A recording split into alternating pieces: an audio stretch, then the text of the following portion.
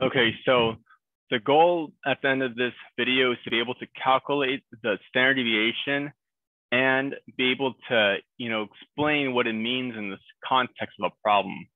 So the standard deviation actually is one of the most common statistics used to describe the spread of a distribution. And you may have thought that the five number summary is the most common, you know, way to describe a set of data.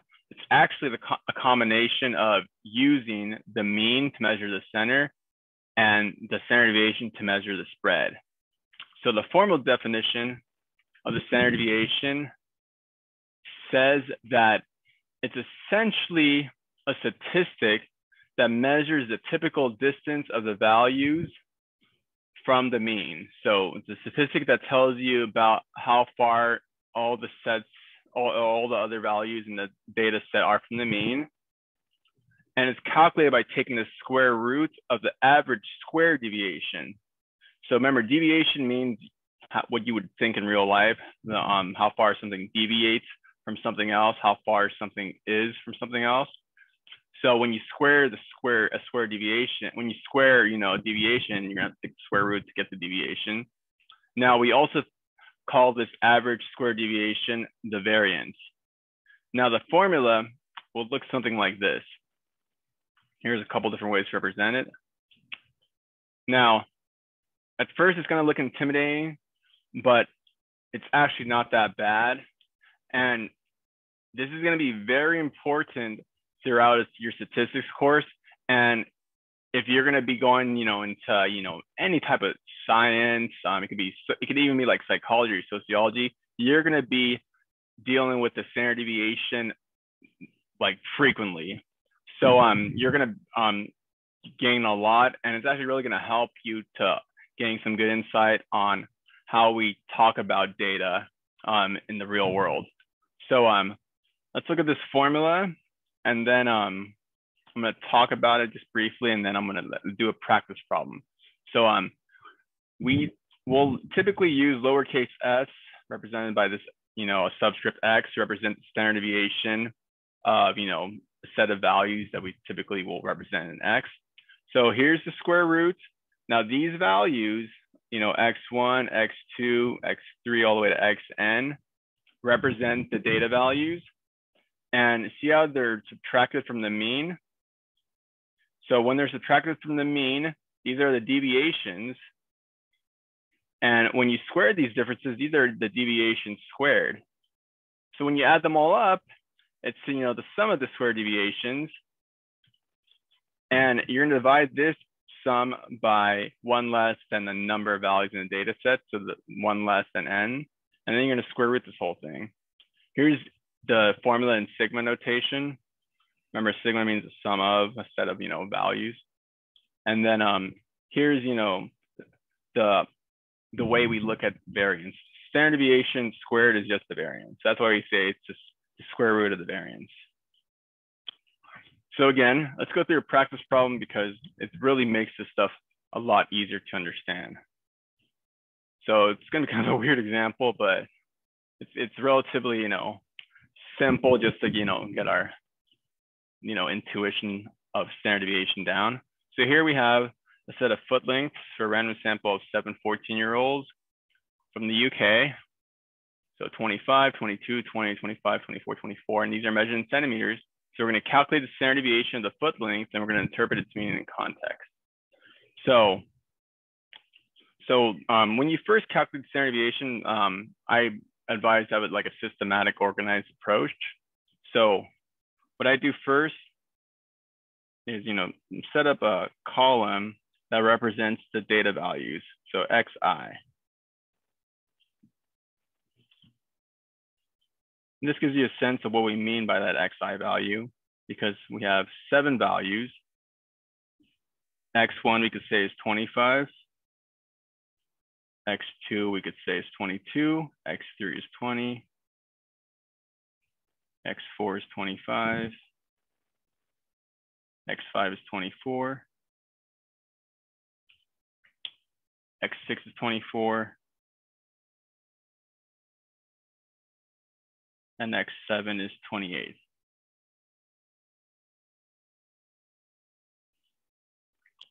Now, um,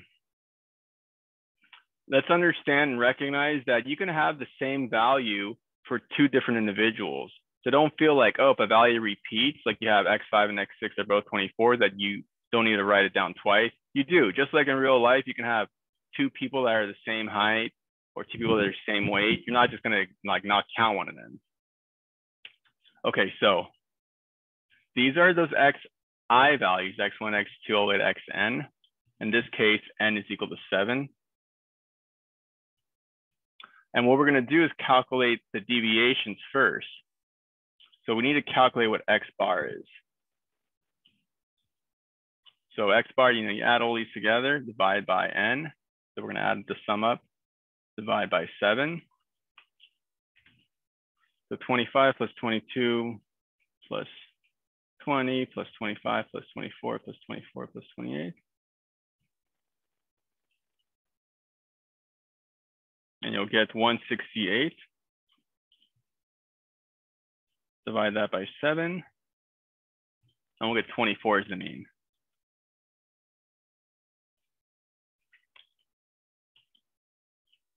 Now,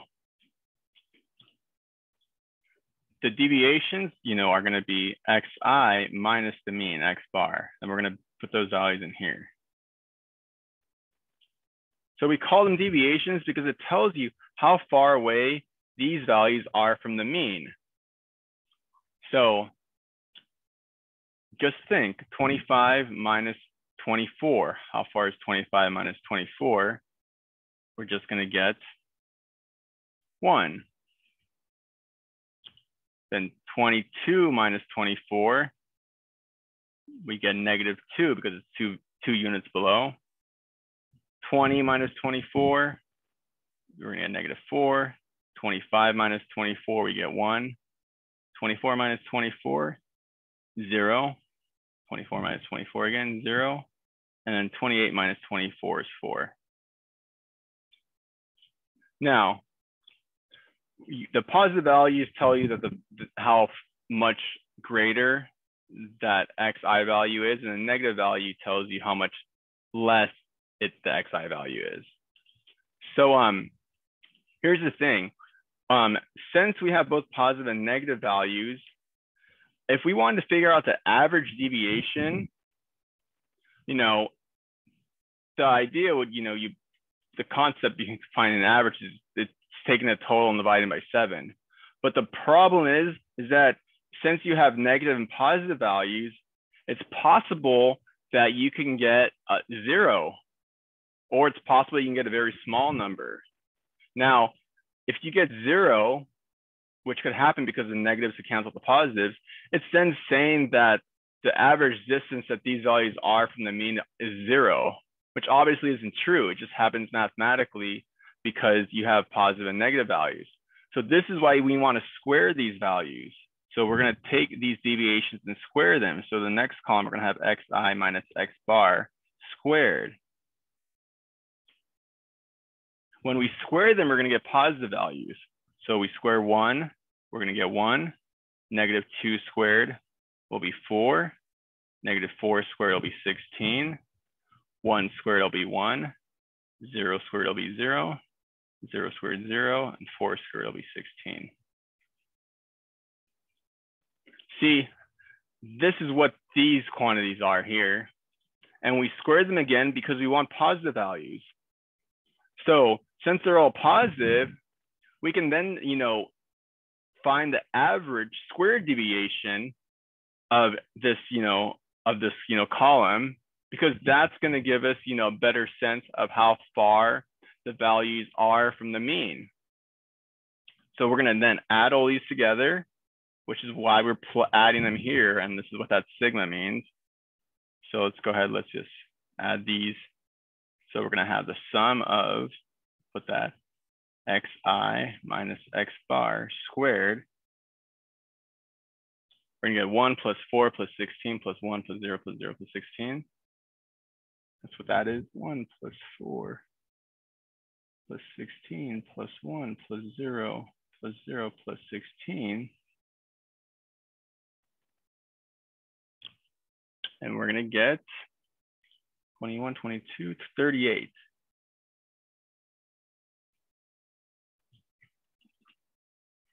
Now, we then take, that's what this total value is. So let's go to the next part. Let's go, um, let's write this as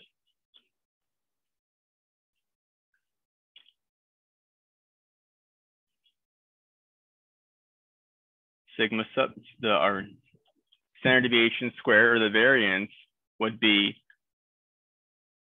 38, that top value, divided by n minus 1, or 7 minus 1. So we take 38 divided by 6. But since we want to find the standard deviation, we're going to take the square root of this quantity. So the square root, again, the square root of, this, of the variance this is defined as the standard deviation. So the standard deviation is going to be the square root of 38 over 6. And we're going to get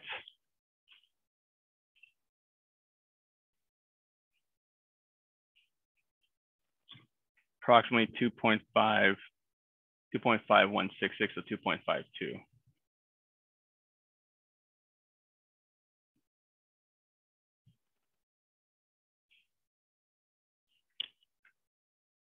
Now, a question that you could be asking, which is a good question, is why we why do we divide this by six? Why not by seven? Because there's seven values. Like in, when we figure out mean, we would divide by seven, not by six. So this is actually gets a little bit technical. We're gonna um, go in deeper into this in the later chapters. But the thing is with standard deviation, what we're actually calculating is the standard deviation of a sample, which we use to estimate the standard deviation of the population. Now, if this was the entire population, then yeah, we would just divide by um, seven. But since this is a sample, we want to use the standard deviation of the sample to get an estimate of the true population standard deviation. And there's something called um, like the standard deviation correction error.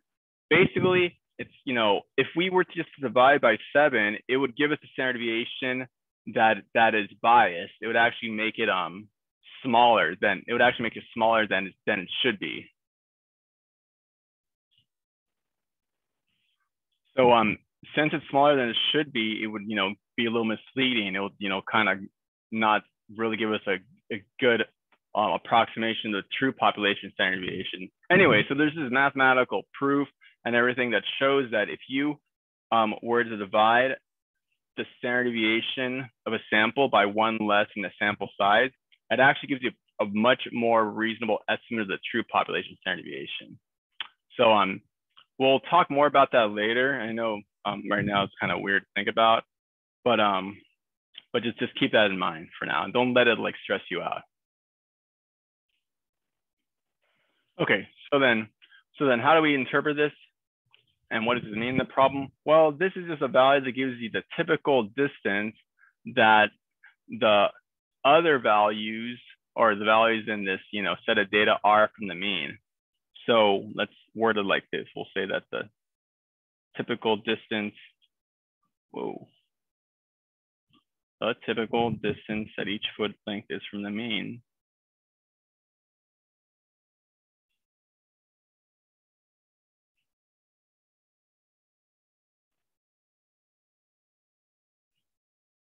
Think is from the mean. So on my pencil, from the mean foot length, you can say.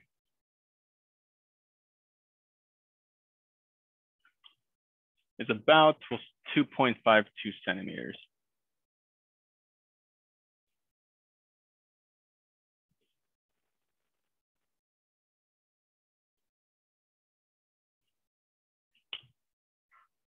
Now, um, for now, in this chapter, we're just gonna use, you know, the word typical distance um, to, you know, kind of interpret the mean, to kind of interpret the standard deviation.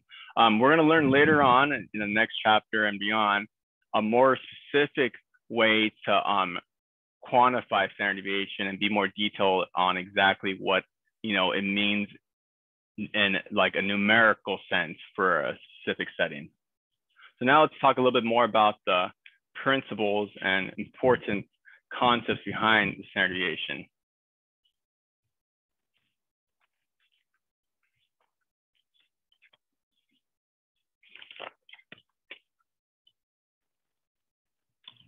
Okay, so you're gonna notice that in a calculator, you're gonna have two different um two different ways that it's gonna represent standard deviation.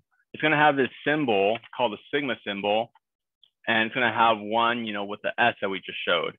And that's because it has two calculations for the population standard deviation, which is the sigma symbol, and the, and the sample standard deviation. We use Greek letters when we're talking about true values, and we're going to talk more about that later on. Now, remember, um, as I just mentioned, the population standard deviation is calculated by dividing by n, whereas the standard deviation of a sample is divided by n minus 1. And again, that's because it's going to give you a better estimate of the population standard deviation when you divide by n minus 1 in the sample. So only use this symbol when you have the entire population. Now, um, when you first learn about the standard deviation, you're probably going to have, you know, homework problems that your teacher or professor is going to assign you where you have to do some calculations. It's going to be a little tedious, but they're really probably only going to give you that for like an assignment or two. Um, because what's more important than you know doing the tedious calculations of the standard deviation are understanding the concepts and properties behind it. So let's talk a little bit about this. So standard deviation, remember, measures the spread about the mean, and so it only should be used when the mean is chosen as the measure of center. It's always going to be greater than or equal to zero, and it's going to equal zero only in the case when there's no variability. Remember, what let's think about what that means. If it says standard deviation is zero, that means that there's no difference in the set of data values. All the values are equal to each other. All the values are equal to the mean. So there's going to be, you know, no difference or no, you know, no, when you take, you know, xi minus x bar, you're always going to get zero. So it's when they all have the same value. Now, the the unit of measurement, the standard deviation is going to be the same as the original observation. It's not going to be something that changes like feet to centimeters or, you know, temperature from, from degrees Fahrenheit to degrees Celsius. It doesn't do any of that. Whatever the original data is measured in, if it's feet, it's going to give you the standard deviation in terms of feet. Now, one of its weaknesses, similar to the mean, is that it's not resistant to outliers. So if you have like some very large values, some very small small values um, in your set of data, it can it can it can significantly affect it. It can be misleading because again, it's it's it's it's computed by using algebra. It's, used, it's computed by using that sum formula you saw. So be wary of that. That's why you only use it when you can use the mean. When you can't use the mean, it's probably because the data is skewed. So that being said, use the median IQR when you have a skewed distribution or when you have strong outliers. Only use the the sample or the mean, you know, sample mean and the sample standard deviation or standard deviation when you have some some a distribution that you know you could say is roughly symmetric and that you can argue that it doesn't really have any outliers.